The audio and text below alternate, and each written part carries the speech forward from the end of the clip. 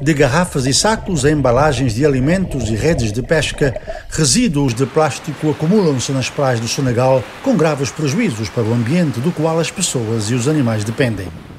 Produtos químicos tóxicos de plástico lançados na água são consumidos por peixes, que constituem uma parte vital na alimentação dos senegaleses. O Ministério da Saúde Pública aponta ligações entre a poluição por plástico e infertilidade, doenças cardíacas, cancros e outros problemas de saúde.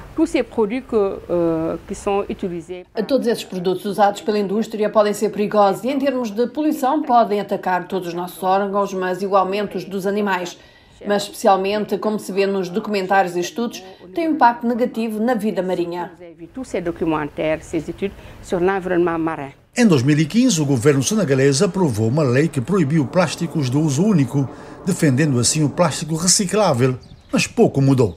A lei deu lugar a outra legislação, que visa especificamente copos, palhinhas, pratos, bolsas e garrafas de plástico e que entrou em vigor em 2020, mas raramente é aplicada et il n'y a pas forcément suffisamment d'informations. Não há informações suficientes. A população, os utilizadores, não estão suficientemente informados sobre a existência desta lei e dos seus artigos.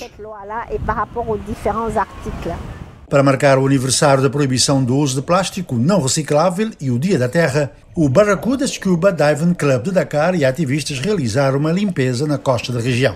Kadin Diouf, do Clean Senegal, usou uma fantasia de plástico enquanto separava o lixo para enfatizar a necessidade de causar impacto nas pessoas.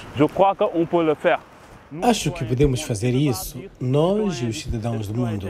Não me refiro apenas aos cidadãos do Senegal, mas aos cidadãos do mundo. Todos devem proteger o meio ambiente. É isso que devemos fazer. Diouf e outros ativistas asseguram que continuarão a fazer campanha por um Senegal mais limpo.